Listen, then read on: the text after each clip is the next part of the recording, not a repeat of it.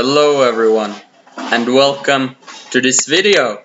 If you haven't already, please subscribe to improve your chess now as it'll help your rating grow significantly. Don't forget to leave a like to this video as well. In this video, I will be taking you through a game played by Ding Liren against his fellow countryman Wang Hao, the first round of the candidates tournament this year, which sadly has been cancelled. Ding Liren began with c4, Wang Hao replied e5, g3, knight f6, bishop g2, bishop c5, and here Ding Liren went for d3. The most common move is of course knight c3, castles, e3, knight c6, followed by knight e2 with the idea of d4. But maybe Ding Liren thought that Wang Hao was well prepared for this and decided to play the rare d3. Wang Hao castled. Ding Liren went for knight c3, c6 with the idea of d5 uh, to get a strong center. Ding Liren played knight f3 and Wang Hao replied with d6. If black plays rook e8 in this position, how can white get an advantage? White after rook e8 would have knight takes e5 with the idea to answer rook takes e5 with d4. So black should take on f2. But after rook takes, king takes f2, rook takes e5, d4, and the rook has to move, rook e8, and e4. White has the center and the bishop pair. Black will of course strike in the center with d5 perhaps, but white uh, should still be better. White's king isn't really that exposed. So Wang Hao played d6, Ding Liren castle, and now rook e8 when knight takes e5 is not possible of course. Knight a4, bishop b4, a3, bishop a5, b4, expanding on the queen side. However, pawns don't move backwards. Bishop c7, e4, and a5, undermining the b pawn. This is very common to play because uh, white will never take on a5 almost because then black will have a better pawn structure. Bishop b2 was played and knight a6 putting even more pressure on b4. Now white has to decide what white will do about this. Ding Liren went for b5. Wang Hao took on b5. Pawn takes b5 and knight c5 and we got this structure after knight takes c5 pawn takes c5 we can see that white has one more pawn in the center but it's also a backward pawn. However it's quite difficult to attack the pawn on d3 a4 bishop g4 and now Ding Liren follows the principles of Varon Nimzovich with the move rook a3 the principle of overprotecting. Now, white defends the pawn on d3 with the rook on a3, so white's queen on d1 has more liability. Knight d7 was played. Black wants to execute the maneuver knight d7, f8, e6, and maybe d4 at some point. And here Ding Liren went for h3, a very practical move giving his opponent a lot of choices. Now black can either choose between bishop h5, bishop takes f3, or bishop e6. Bishop e6 is not very tempting to play, because then knight f8, knight e6 is no longer a possibility. Taking on f3 is also not so tempting, because then you give off the bishop pair. So Wang Hao went for the human move bishop h5. Ding Liren played queen b1, getting out of the pin, and planning to go knight d2, knight c4. Wang Hao played b6. And here Ding Liren went for his plan with knight d2, another interesting option for white would have been knight h4, f6, bishop f3. It's quite clear that if black trades of the light squared bishops, black's dark squared bishop will be inferior to white's dark squared bishop, because black has 6 out of 7 pawns on dark squares. And if black retreats with bishop f7, then after knight f5, white has improved their pieces a little. Knight d2 is not a bad move, of course. Knight f8, with the idea of knight e6, knight d4 at some point. Bishop f3, the idea of trading off bishops, light squared bishops. And here, Wang Hao went for queen g5. After bishop g6, uh, please try to find how white can force a trade of light squared bishops.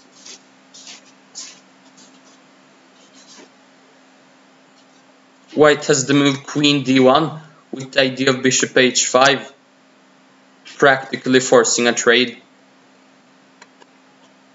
Perhaps bishop takes f3 is strongest, because after knight takes f3, white's knight has been distracted from the path to c4 and it'll take one more tempi to get to c4 as opposed to the knight being on d2. Queen g5 was played and here Ding Liren went for h4. Wang Hao has a choice here between taking on d2 or playing queen h6 or queen g6. Wang Hao played queen g6 but perhaps queen takes d2 would have been stronger with the idea that after bishop takes h5, okay, black has given off the bishop pair, but now black is able to play knight e6 with the idea of knight d4 at some point. So black has uh, play too. However, Wang Hao went for queen g6. Ding Liren took on played queen d1. Taking on h5 is also very possible. Knight takes, bishop takes f3, queen takes f3, and h5. With this move, Wang Hao places a pawn on a light square, which makes sense because his bishop is a dark squared bishop, and also glues white's pawns on the king side on dark squares, which is not so good for white because they have a dark squared bishop. Here, Ding Liren went for queen f5, and Wang Hao replied with rook a8. However, perhaps queen takes f5 would have been stronger. The idea of g6 after pawn takes f5, knight e4, king g7, f6, king e g8. And it seems very hard to make progress in this position. And it'll probably end in a draw. However, perhaps Wang Hao thought of the rule that usually you don't want to take your opponent's pieces when you have this option and you want him to take your pieces instead because then your pieces get improved. This is true in most cases, but uh, the beautiful thing about chess is that it has very many examples where rules are not followed and you have to think yourself. Queen takes g6, knight takes g6, king g2. According to Kramnik, it's always an improvement to your position to play g3 followed by king g2. This is of course true when you're not being attacked. Let's say against the king's Indian, you shouldn't play g3, king g2. f6, knight c4, king f7, bishop c1, rook d7. It's clear that white is better, but it's not very easy to make progress as white. In fact, Ding Liren lost his patience a little with the move f4, and suddenly black is able to get a very strong position after pawn takes f4. Taking on f4 with the pawn is not possible, as the knight takes h4 will be played, so bishop takes f4. And here, Liren has a choice between taking with the knight or with the bishop on f4.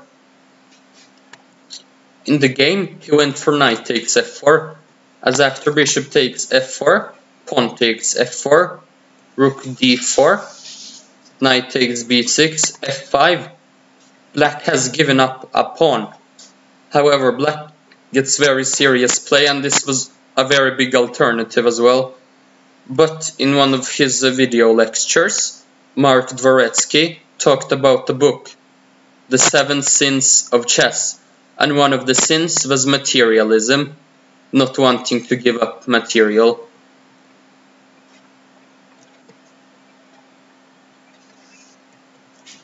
Knight takes f4 was played, pawn takes f4, f5, e5. On the surface, it might look as if white has an okay position, with a passed pawn, better knight against the bishop. However, black has a very nice blockade square on e6, and the white has many weak pawns. Rook e6, a pretty smart move, using the g-file. King f3, rook g6, knight e3, king e6.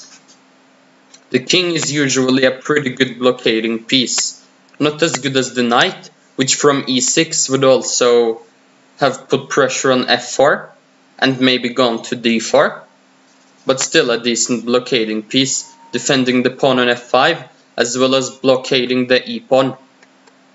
Rook d1 was played, bishop d8, putting pressure on the h4 pawn.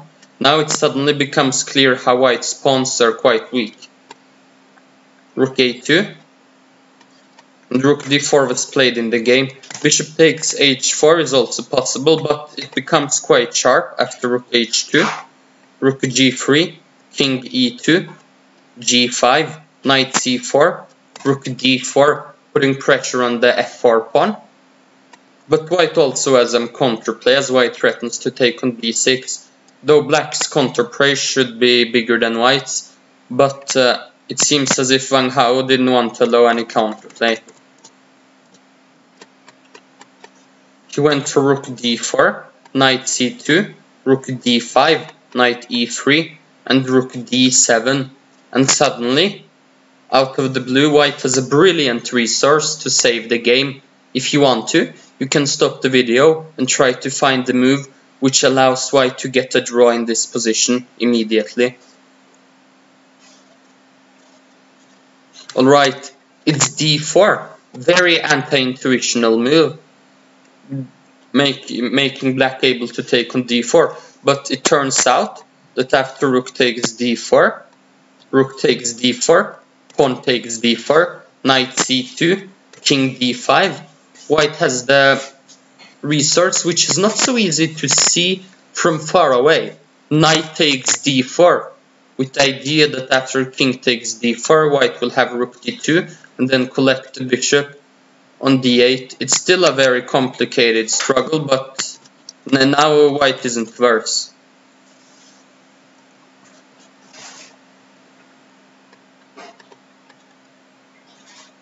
However, Ding Liren defended passively with rook dd2. We may say that this is perhaps the fatal mistake, because black simply took a pawn on h4. Left Turned out that black had the genius move rook g4. I'm sure Petrosyan would have been very proud of this exchange sacrifice. It turns out that white can't really take on g4, as after pawn takes g4, king e3, rook d4. White is helpless against black idea, black's idea of g5. Ding Liren tried rook h2, but after g6, knight takes g4, pawn takes g4, king e3, bishop e7, rook c2, h4, Ding Liren resigned, because black's pawns are just going to queen. Alright everyone, thank you for watching this video, and I'm looking forward to seeing you in the next one.